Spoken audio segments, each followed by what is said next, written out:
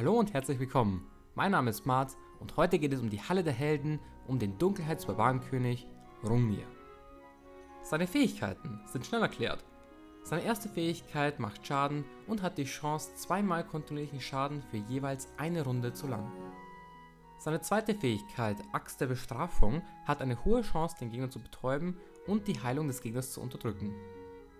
Seine dritte Fähigkeit, Raserei, ist am interessantesten.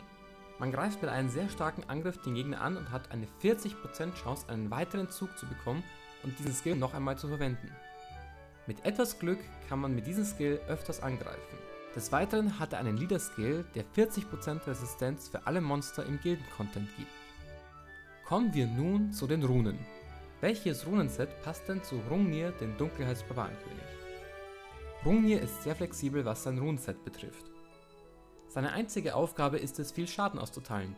Daher ist es ratsam, ihn mit Zorn, Fatal oder Gewaltruhen auszustatten. Jedoch auch Tempo oder Qualruhen können auf ihn sehr effektiv sein. Da es wichtig ist, dass Rungnir sehr viel Schaden macht, sollte man sich eher darauf konzentrieren, seinen Angriff, seine Crit-Rate und seinen Crit-Schaden zu pushen. Rungnir ist durch und durch ein PvP-Monster. Mit dem richtigen Team und etwas Glück könnt ihr jeden Kampf in Sekunden für euch entscheiden. Auch wenn Rungnir nicht so zuverlässig ist und sehr viel auf Glück basiert, ist er definitiv ein Monster, mit dem man gerne spielt. Zum Schluss bleibt noch zu sagen, dass Rungnir, auch wenn er nicht PvE geeignet ist, dennoch ein sehr starkes und interessantes Monster bleibt, besonders in den PvP-Bereichen. Was haltet ihr denn von Rungnir, den Dunkelheitsbarbarenkönig?